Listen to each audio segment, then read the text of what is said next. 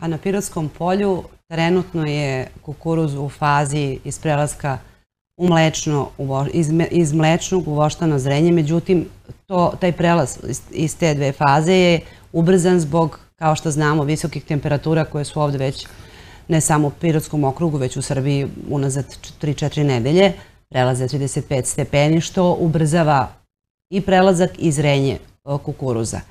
E, očekuju se e, prosječni prinosi za Pirotski okrug, e, bez obzira na, na grad koji je bio krajem jula, ali taj grad i ta kiša je inače spasila useve kukuruza i u zadnjem trenutku je pala ta dovoljna količina kiše koja je bila potrebna da bi se kukuruz i oprašio i nalio zrno. Jer su već pred, pred te